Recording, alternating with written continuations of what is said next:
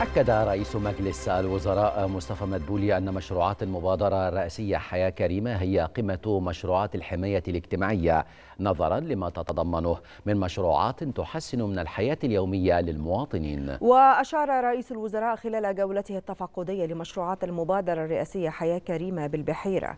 أشار إلى أن إجمالي ما يتم تنفيذه من مشروعات المحافظة بلغ 124 مليار جنيه منها 80 مليار جنيه لتنفيذ المشروعات القومية فضلا عن 44 مليار لمشروعات حياة كريمة.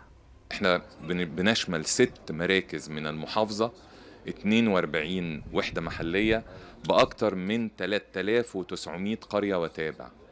عدد المشروعات 8868 مشروع بتكلفة 44 مليار.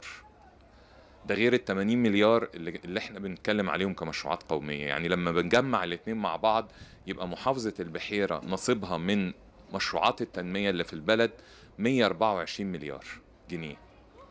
أنا بس حابب أحط قدامكم هذه الأرقام عشان نعرف الدولة المصرية على مدار الأربع أو الخمس سنوات طبعا الأخيرة ولكن هو بالأخص يعني منذ 8 سنوات منذ تولي فخامة الرئيس ولكن طبعا الحجم الأكبر بدأ من الإنجاز في آخر خمس سنوات.